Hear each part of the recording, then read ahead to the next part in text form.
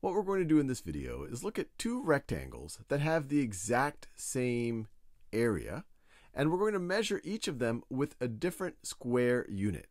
So this top unit right over here, this is a square foot. So that means its height is one foot, and its width right here is one foot.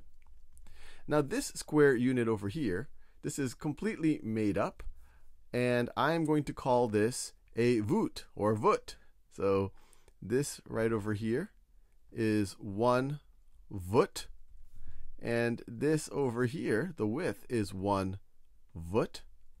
So this entire thing is a one square, one square voet, while this top one, of course, is one square foot. Now, let's measure each of the, let's measure the top rectangle in terms of square feet, and let's measure the bottom rectangle in terms of square, I guess I could say feet. All right, so first the top rectangle.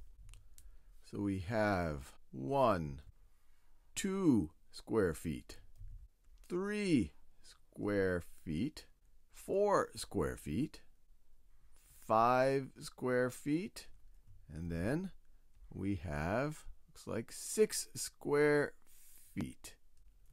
And then we're gonna have a, need to have another six square feet down here. So that's seven, eight, nine, ten, eleven, and twelve.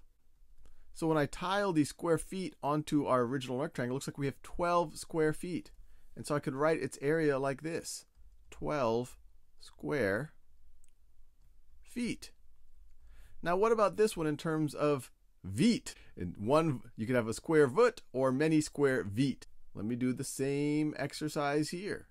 That's one square foot. This is two square feet, I could say. And then this is three square feet. So the same area could either be 12 square feet or it could be 3 square square feet.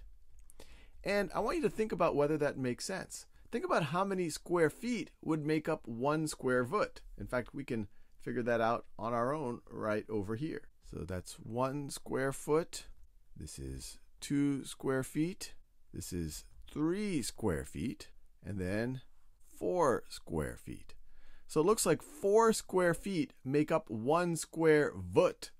And so think about it. does it make sense that three square feet is the same thing as 12 square feet?